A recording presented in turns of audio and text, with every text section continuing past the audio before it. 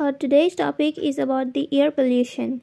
In this video, we will see the meaning of air pollution, what is air pollutant, the types of air pollutant, and what is gaseous pollutant and what is particulate pollutant.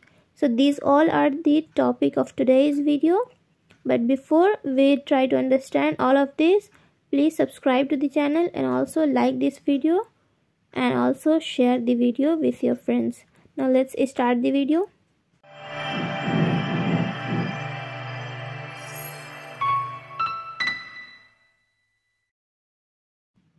Now let's talk about the air pollution. What is air pollution? Air pollution means the process by which the air becomes polluted. It's a very simple definition. The process by which the air becomes polluted and this polluted air is called the air pollution.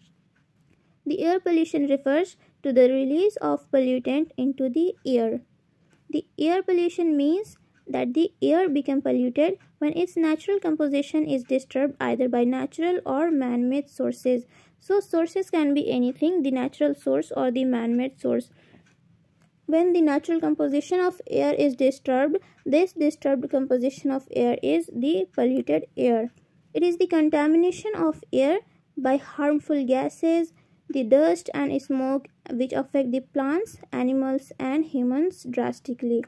It means the contaminated air, uh, the contamination of air by the harmful gases it can be the harmful chemicals also the dust and smoke which affect the plants animals and humans and uh, harm to the uh, environment also so this is called the air pollution Air pollution refers to the physical, chemical, or biological changes in the air.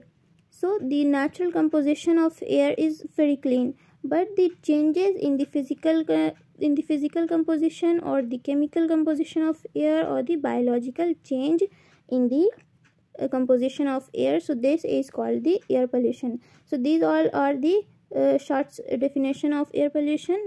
Now let's talk about the air pollutants Air pollutants are substances in air that could at high concentration harm humans, animals, vegetation and property. There are two main types of air pollutant, primary and secondary. So there are two main types of air pollutant. We will talk about it later.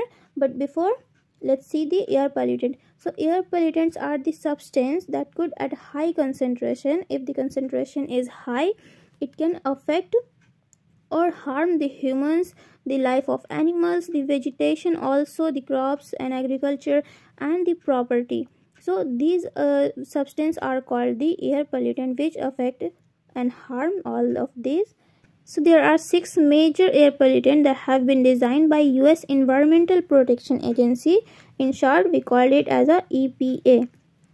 So it has defined the six major air pollutants that is the carbon monoxide, the nitrogen oxide, sulfur dioxide, ozone, particulate matter and lead. It means the PB. So these all are called as the criteria pollutant. Here you can see the carbon monoxide, the nitrogen dioxide, the particulate matter, the sulfur dioxide, lead and the ozone. So these all are called as the criteria pollutant. Now it's clear to you and let's talk about the types of air pollutant. So there are two main types the primary pollutant and the secondary pollutant. What is primary pollutant? The primary pollutant responsible for air pollution are the ones that directly cause air pollution. These include harmful gases such as sulfur dioxide and it can be the nitrogen dioxide which is generated by the factories. So these directly affect and cause the air pollution but on the other hand the secondary pollutants are formed by the process of intermixing of primary pollutants. So smog is a combination of fog and smoke a secondary pollutant. So secondary pollutant is what? The process by which the uh, pollutant that are intermixed with the primary pollutant and form the secondary pollutant that do not directly uh, affect the uh, that do not directly cause the air pollution. For example the smog which is a combination of fog and smoke. Here you can see the primary pollutants example. Uh, we have the CO2, SO2, NO2 or the CO and in the secondary pollutant we have the H2SO4 HNO3 HSO2 and H2O2 so these all are the example of secondary pollutant now let's talk about the gaseous pollutant. What is gaseous pollutant? The gaseous pollutant produced in atmosphere from fossil fuels combustion and in certain oil and gas activities remain in gaseous state in the atmosphere. So these these are present in the atmosphere at the gaseous state. And it is produced by the uh, combustion of fossil fuel and oil and gases activity in a in the power plant or by the vehicles. So these gaseous pollutants are present in the gaseous state in the atmosphere and the example of these gaseous pollutants are carbon monoxide sulfur dioxide and nitrogen dioxide. These gases are emitted directly into the air from fossil fuels such as fuel oil, gasoline, natural gas and they are burned in power plant automobiles and other combustion sources so automobile or the power plant or uh, any other combustion sources in which the fossil fuels are burned up. So this form the gaseous pollutant right? The example of which is carbon monoxide the sulfur dioxide and nitro nitrogen dioxide. And now let's talk about the particulate pollutants. Pollutants that remain suspended in the air and cause pollution are known as particulate pollutants. It means that the uh, that the pollutant that remains suspended in the air and it can cause the air pollution. And in the solid form uh, they are present in the atmosphere. They remain in the solid or liquid form. On the other hand the gaseous uh, pollutants are present in the uh, gaseous form right? But the particulate pollutants are present in the solid or liquid uh, form in the atmosphere. These are in form of large particles that settle down rapidly or remain suspended in the air. So these are heavy particles the large particle that settle down uh, or remain suspended in the air. For example the dust the smoke the metal oxide fumes and aerosols or we can say the fly ash etc so these all are the example of particulate pollutants which are present in the uh, solid or the liquid form in the atmosphere i hope it's clear. Now let's talk about the carbon monoxide which is a major cause of air pollution.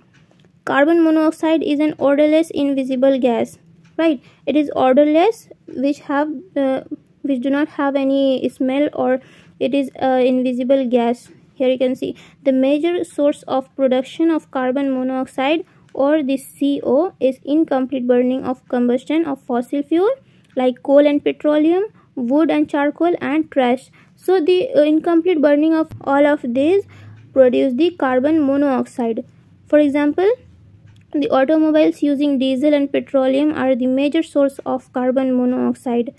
Right, the carbon monoxide it is produced by the automobiles also in which the diesel and petroleum are used. It constitutes about 50% of total air pollutant. It causes respiratory problems, suffocation when inhaled also cause death. So it's very obvious if you inhale the polluted air, it can cause you the respiratory problem and the suffocation. So these all are inhaled by the human and it cause the death for many people so it is very harmful to the environment also and it is the major cause of the air pollution this carbon monoxide. Now let's talk about the cfc gas or the chlorofluorocarbon. These are colorless odorless and non-flammable and non-toxic chemicals. So cfc is a colorless gas and odorless which do not have any smell and it is the non-flammable and non-toxic chemical. It harmfully react in upper atmosphere which is harmful to environment so cfc is a gas which destroy the protective ozone layer and in return it cause the global warming. So uh, the ozone layer is uh, of two types the bad ozone and the good ozone. And cfc destroyed the good ozone.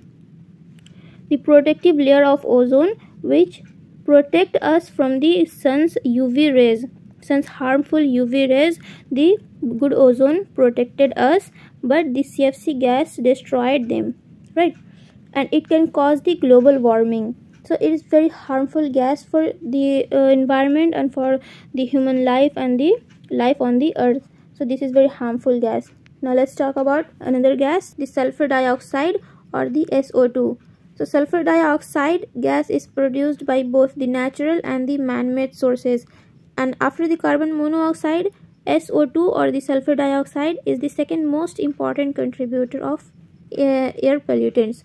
So the uh, sulfur dioxide is the second most important contributor of air pollutant after the um, carbon monoxide which contributes about the 50% of the air pollutant.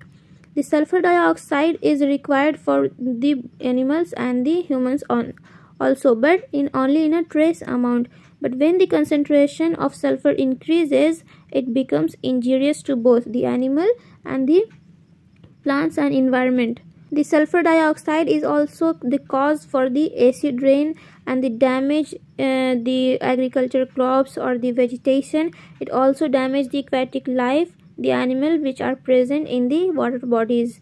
It also degrade the soil and human bodies and properties so sulfur dioxide is essential for the uh, living for the uh, animals and the humans and plants also but in a very small amount. But when the in, uh, concentration is high it is very harmful for our environment. Now we will talk about the oxides of nitrogen. Nitrogen oxides main sources are thermal power station factories automobiles and aircraft at high concentration cause disease in humans such as oxygen deficiency, lungs cancer and pneumonia. So the nitrogen oxide is very harmful for the human health also. It can cause the oxygen deficiency, the lung cancer and pneumonia and it is produced in the thermal power station or the factories and the automobiles also is a source for the uh, oxides of nitrogen it's it is generated by uh, all of these sources right. So in this video we have covered all the gases which are responsible for the air pollution and we have talked about the types of air pollutant which are responsible for the air pollution. And in our next video we will talk about the causes effects and we will also see the solution for the air pollution. If you like the video please hit the like button and also subscribe to the channel. Now let's meet in the another video